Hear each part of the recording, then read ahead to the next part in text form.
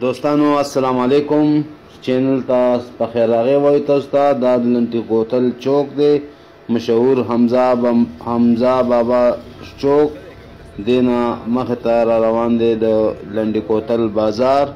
او بیا لنډي کوتل بازار کې لار وته دا لنډي کوتل تورخم بای پاس باندې نو ان شاء الله زموږ مزل هغه وخت دی تاسو کتو دا د لنډي کوتل د انټری پوینټ دی حمزه بابا چوک او اوس دغه دی ور روان شو د لنډي کوتل په بای پاس باندې کم چې تورخم اړخ ته وته او د بهر نه او د بازار نه لنډي کوتل بازار نه بارو بار وختې دی نو ملګرو وګورئ ډېر مزیدار بای پاس جوړ کړی دی رش پې کم دی کم از کم په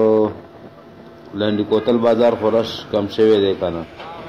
او دغه تاسو ته مخامخ ښکاري یو سرنګ غونتی دا د هغه زوړ پخواني د ټرین سرنګ دی کوم چې انګرېزانو جوړ کړی و د پېښور نه لنډي کوتله پورې بیا لنډي کوتل نه تر تورخمه پورې دا وګورئ دا لږ ورځو دننه ګورو او تاسو ترای پوری تاسو ته د الله په امان وایو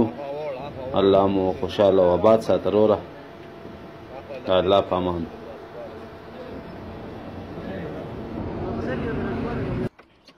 خیال کوي ټرین در باندې راندي شي